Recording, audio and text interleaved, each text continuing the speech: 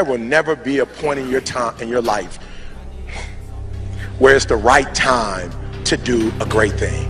If you're waiting for that perfect, perfect moment, that perfect timing, it's not going to happen. You know what you have to do? You have to create the perfect time and the perfect opportunity and the perfect situation. That a lot of people become comfortable.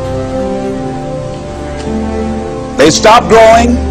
They stop wanting anything. They, they become satisfied. People getting ready to go to jobs that they don't like, jobs that are making them sick. You see, when you're not pursuing your goal, you are literally committing spiritual suicide. When you have some goal out here that you're stretching for and reaching for that takes you out of your comfort zone, you'll find out some talents and abilities you have that you didn't know you have. When the messenger of misery visits you, what are you going to do? What will keep you in the game? There are things that you think you'll never need to know that you may only need to know one time in your life, but that could save your life because you had that knowledge. Unless you attempt to do something beyond that which you've already mastered, you will never grow.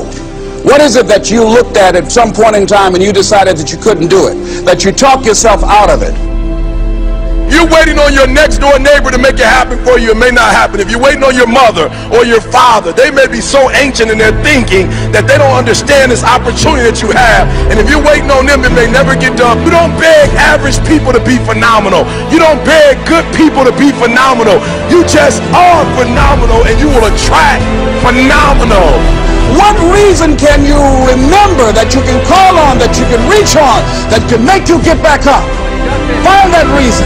If you're not where you are, if you're not where you want to be, if you don't have what you want, want to have, if you're not where you think you should be at this particular place, it has nothing to do with the system, but it has everything to do with the fact that you're not making the sacrifice. I want you to make that dream become a reality because if you don't, you will be working for somebody else to make their dreams become a reality. Everybody is against you or don't believe in you no more. And let me tell you something, that's a lonely feeling. It's a lonely feeling, particularly people that you're doing it for. Most people take their greatness, take their ideas to the graveyard with them. Listen to me. If it was easy, everybody would do it. There are people right now who are working who don't want to work. There are people who hate their jobs, but they keep getting up to do it. Wealthiest place on the planet is the graveyard. Because in the graveyard we will find inventions that we never ever were exposed to. Ideas, dreams that never became reality. Hopes and aspirations that were never acted upon. Question is, what are you going to do with your time? What drives you? And greatness is a lot of small things done well. Day after day, workout after workout, obedience after obedience, day after day. When things don't work out for you, when things happen that you could not anticipate, what are the reasons that you can think of that can keep you strong? You will never ever be successful until you turn your pain into greatness, until you allow your pain to push you from where you are to push you to where you need to be. Stop running from your pain and embrace your pain. Your pain is going to be a part of your prize,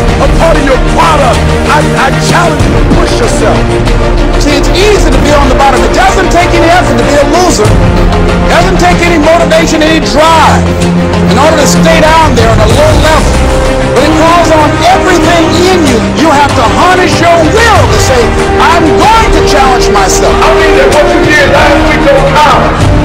Today, today is the only important day. There are 86,400 seconds in a day, and how you use those are critical. You got 86,400 today, and what you do today is going to cement who you are. Nobody's going to talk about what you did last week. that the biggest enemy you have to deal with is yourself. There's an old African proverb that says, if there's no enemy within, the enemy outside can do us no harm. You have this opportunity of a lifetime. It means absolutely nothing if you don't take advantage of it in the lifetime of this opportunity. I got a saying that when life knocks you down, try and land on your back because if you can look up, you can get up. If you want a thing bad enough to go out and fight for to work day and night for give up your time, your peace, and your sleep for if all that you dream and scheme is about it, and life seems useless and worthless without it, See, it's time now. If you want to make this your decade, you've got to start saying yes to your life. You've got to start saying yes to your dreams, yes to your unfolding future, yes to your potential, as opposed to saying no. When you die, die on E. Leave left behind. When you leave this earth, accomplish every single thing you can accomplish. Listen to me, you're gonna be here one day, but you'll never get here if you give up, if you give in, if you quit. And finally, guys, you gotta wanna succeed as bad as you wanna breathe.